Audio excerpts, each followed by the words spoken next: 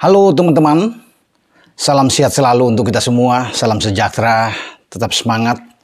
Kembali dengan saya Bung Ropan. Dan kita akan ngobrol seputar persiapan dari timnas senior kita yang nantinya akan bertarung dalam dua pertandingan di FIFA Matchday menghadapi Curaçao pada tanggal 24 eh, September ini di Gelora Bandung Lautan Api di Bandung dan kemudian pada tanggal 27 September yang akan datang akan bertarung di Stadion Pakansari.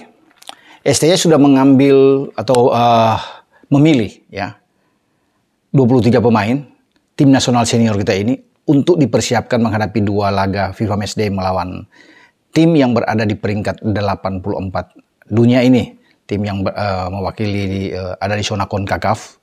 Ini Curaçao di uh, seputar Karibia sana ya di Amerika Tengah dan Utara. Dan ini tidak boleh main-main. Mereka punya pemain-pemain yang bertebaran di luar negara mereka, bahkan banyak dari Belanda. Jadi secara kualitas mereka oke, okay. makanya mereka ada di peringkat 84 dunia. Banyak yang tidak mengenal seperti ini. Curaçao ya. Kalau bicara di CONCACAF itu kan selain Amerika di sana, uh, Panama ya, Kanada itu bagus-bagus, Honduras, ini tim-tim yang oke, okay, yang ada Kuba di sana. Dan kedatangan dari Curaçao ini harus dimanfaatkan oleh pasukan STY. Artinya kalau kita tidak kalah saja, ya, menghadapi mereka sudah bagus. Kalaupun kalah itu jangan sampai menyolok. Ini yang akan dihindari oleh STY dalam dua pertandingan nantinya di uh, Gelora Bung, uh, Gelora Bandung Lautan Api dan di Pakansari. Semoga kita bisa mendapatkan hasil yang oke okay ya, hasil yang bagus dalam dua laga FIFA Matchday ini. Nah dari 23 nama yang dipanggil ini saya melihat memang ada uh, kejutan ya yang disisipkan oleh STY dengan mengambil pemain seperti Muhammad Ferrari ini yang baru sukses di U20 kemarin di kualifikasi grup F di mana STY termasuk dengan sang kapten Muhammad Ferrari ini membawa tim U20 kita lolos ya, ke putaran final Piala Asia U20 pada bulan Maret tahun depan itu di Uzbekistan. Dan Ferrari ini diambil. Kalau Marcelo Ferdinand Marcelino Ferdinand ini kan sudah ikut dengan tim nasional baik di U23 dan juga di tim senior.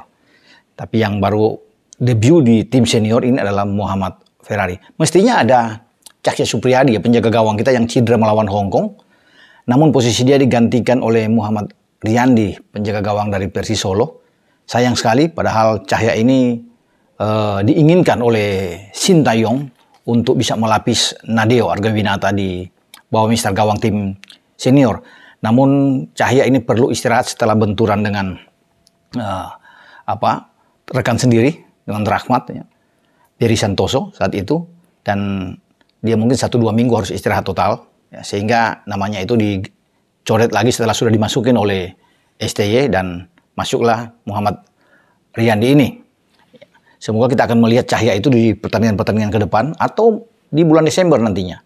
Ketika tim senior kita berlaga di AFF, STY akan kembali memasukkan nama uh, Cahya di bawah Mister. Nah, saya juga akan melihat dan mungkin kita semua akan melihat bagaimana penampilan kalau ini diberi kesempatan oleh STY dalam pertandingan melawan Curaçao adalah dua pemain dari PSM, Ramadan Sananta dan juga Yakob Sayuri. Ini mereka ada debut untuk masuk di tim nasional, pertama kali masuk di tim nasional senior. Dan kalau dimainkan ini enak. Tentunya dengan pola yang diinginkan oleh STY. Kalau bermain dengan STY dengan uh, tiga pemain back di belakang, ya, kemudian ada empat gelandang, dan tiga di depan atau tiga empat tiga, ya bisa saja Ramadan Sananta bermain di posisi depan. Atau katakan di sini dengan empat dua tiga satu. Bisa. Ramadan ada di depan. Karena striker itu kan dipanggil selain Ramadan ada Dimas Derajat juga bersama dengan M Rafli tinggal dipilih ketiga ini.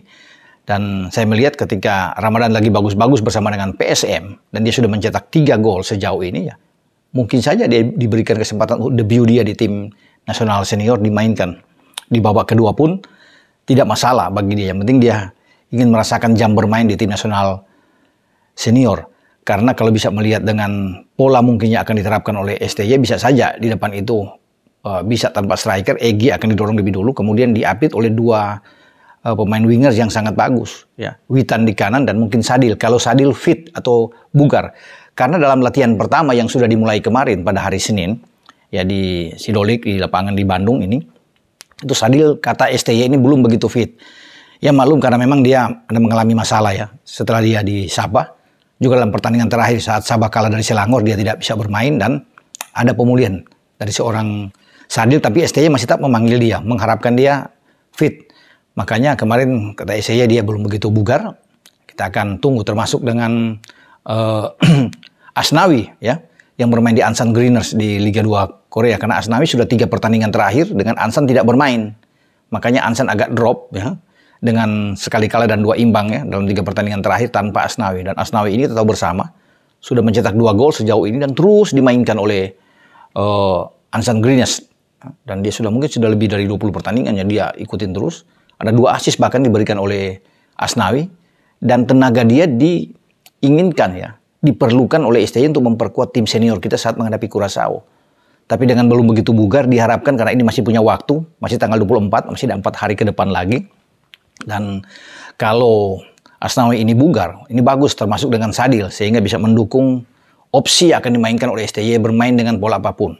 Dengan 3-4-3 atau dengan 3-5-2 atau dengan eh, 4-2-3-1 terserah bagi STY. Bahkan ada opsi lain dengan pola 4-1-4-1. Itu yang bisa dikembangkan nanti dalam pertandingan melawan Curaçao. Tapi saya rasa STY akan akan banyak memberikan juga kesempatan kepada pemain-pemain yang akan mengawali debut dia ya. Termasuk tadi saya katakan ada Muhammad Ferrari bisa aja dimainkan bersama dengan Fahrudin di belakang atau Elgan Bagot ya. Ada juga Rizky Rido kalau bermain dengan tiga back tentunya kan pilihan ini akan akan ada di uh, Fahrudin kapten ini.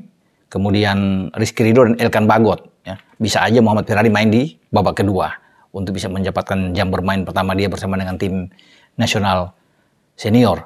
Nah kalau STY ini bermain dengan tiga back ini ya tentunya Nadeo di bawah Mister, ada lima gelandang. Pasti akan didorong ini dengan catatan ya, itu Pratama Aran akan bermain di kiri dan Asnawi dengan catatan juga Asnawi bugar. Asnawi akan bermain di sisi kanan. Nah ini dua flank ini akan dimanfaatkan ya untuk terus bisa membantu serangan ke lini depan. Tiga di tengah itu siapa? Pasti dua saya pikir akan diambil oleh Mark Lok dan Ricky Kambuaya. Satu lagi tergantung dari STY ini, tapi nama Rahmat Irianto ini oke okay lah. Jadi ada tiga pemain Persib Bandung ini yang akan berada di poros tengah tim nasional kita yang dianggap sangat kuat dengan Rahmat Irianto tentunya akan lebih ke dalam bermain sebagai pivotnya. Kemudian kendali permainan di tengah akan diatur oleh Mark Locke dan Ricky bisa membantu serangan ke depan. Ya, kalau bisa bermain dengan lima gelandang. Nah, dua di depan siapa? Ini yang agak membingungkan. Bisa aja Egi langsung dimainkan bersama dengan Witan, ya dengan Sadil tentunya akan masuk di babak kedua dilihat dengan kondisi terakhir dari Sadil Rendani atau memainkan satu striker ya. Ramadan Sananta atau Dimas Derajat atau juga dengan M. Rafi untuk bermain bersama dengan entah dengan Witan atau dengan Egi tapi saya pikir Witan akan selalu mendapat tempat. Ini pemain yang bagus ya. Bermain dari dua sisi dia bisa bermain di kiri bisa main di kanan punya penetrasi yang bagus visi bermain bola yang oke okay, dan Witan saya pikir akan menjadi pilihan ya bagi STY. Ini kalau dengan 352. Lain halnya kalau bermain misalnya dengan uh, eh, 343 tentunya akan ada perubahan yang bisa dilakukan oleh STY. Nah itu saya katakan tadi kalau Sadil ini oke okay, dengan tiga pemain depan bisa aja Sadil, Egi dan Witan. Empat di tengah itu bisa dimainkan dengan uh, Pratama Arhan, kemudian Asnawi ada di kanan dan dua dimainkan oleh Mark Locke bersama Ricky Kambuaya. Kalau dengan empat pemain gelandang Ya, kita akan tunggu nantinya. Kalau tiga di belakang sudah pasti yang saya sebut tadi dengan Ekon eh, Bagot, Fahrudin dan Rizky Rido akan bermain dengan posisi de, demikian. Nah lain halnya juga kalau dia bermain misalnya dengan eh, empat dua tiga satu itu memiliki satu penyerang Nah, ini kesempatan bagi Ramadan Sananta saya pikir untuk bisa bermain. Karena PSM ini selain Ramadan itu ada Yakob Sayuri yang bermain di sisi kiri. Bisa juga Yakob bermain di babak kedua di, eh, diberikan kesempatan oleh Sintayong untuk ada di lini depannya. Kalau dengan 4-2-3-1, artinya Asnawi ada di kanan, Pratama Arahan, Kemudian dua di tengah itu bisa Elkan Bagot dan Fakhrudin. Atau Fakhrudin dengan Rizky Ridho. Ya, semua ada di STY akan menentukan. Nah, dua pivotnya ini bisa dimainkan oleh uh, Rahmat Irianto dan juga Mark Lok untuk lebih ke dalam bermain. Nah, siapa yang akan bertarung di tiga di depan ini? Tiga depan ini Ricky Kambuaya bisa didorong ke depan untuk bisa membantu striker ya, untuk bisa muncul dari belakang dia.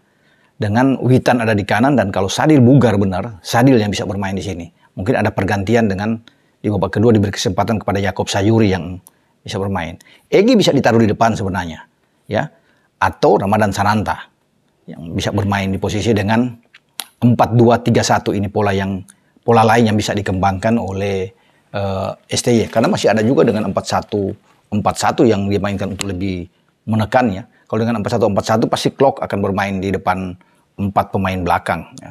Entah itu Bagot dan Fakhrudin yang lebih dulu dimainkan ya atau Rizky Ridho dengan Ekam Bagot ya atau Rizky Ridho dengan Fakhrudin tapi yang pasti di dua flank ini ada Asnawi dan Pratama Arhan penjaga gawang tidak akan tergoyahkan dengan Nadeo tentunya Klopp yang akan bertarung apa eh, di tengah ya dengan Mark Locke ini akan mengatur di sini dan juga bisa lebih menjadi pivot yang lebih bertahan. Empat di depan itu yang kita akan tunggu karena empat satu empat satu kan.